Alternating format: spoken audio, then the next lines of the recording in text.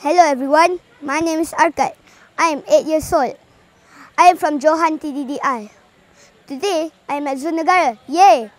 Zoo Negara is home to 5,000 animals. It is open daily from 9 a.m.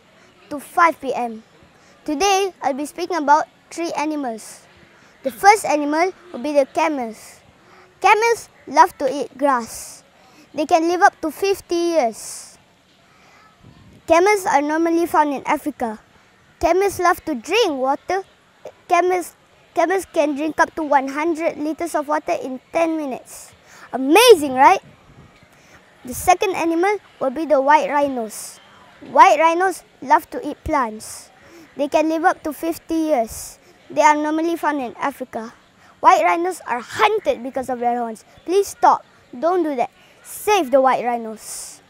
The third animal would be the giraffe. Giraffe love to eat leaves. They can live up to 25 years. They are normally found in Africa. Giraffes are very active. They sleep only 4 hours a day. Besides these three animals, we have many other animals at Zoo Negara. Come and visit Zoo Negara. Thank you. Your